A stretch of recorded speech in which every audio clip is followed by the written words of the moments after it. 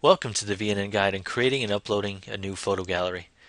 Once we're logged into our website, we can go up to the admin bar, click on New, and then select New Gallery. From there, it takes us to the administration area where we can give our new gallery a title. So I'll put Game vs. West. What we also want to make sure we do is select a category. Selecting a category is what groups all the galleries for a certain sport onto a page. So for example, this is a varsity football gallery. When I go to the photo gallery section for varsity football, every single gallery that's been tagged with this category will show up there. So it's an easy way to find all the galleries per sport. What we want to do now is upload a couple photos.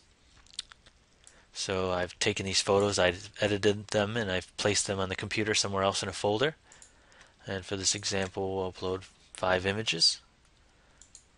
Click open.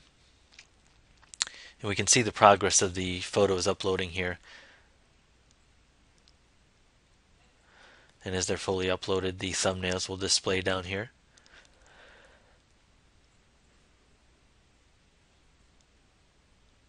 Alright, now that everything's uploaded, we have all the pictures we need, we have a title, we have a category selected. I'm going to go ahead and click on Publish.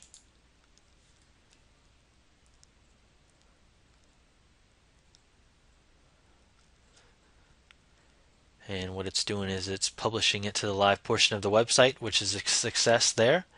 It also sent it to Facebook to post a link to let everybody know the gallery is ready. And now to see the live article we can click on view article.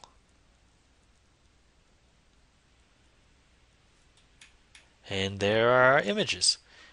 Now the four latest galleries that are uploaded to any website will show up in this this right sidebar area.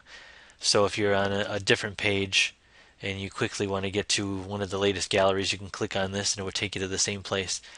Now, we mentioned categories. The important reason for selecting a category so is if you are in the football section home and you hover over photo galleries and you click varsity football, all the galleries that were tagged with that varsity football category will show up on a page with those items. And that's creating a gallery with VNN.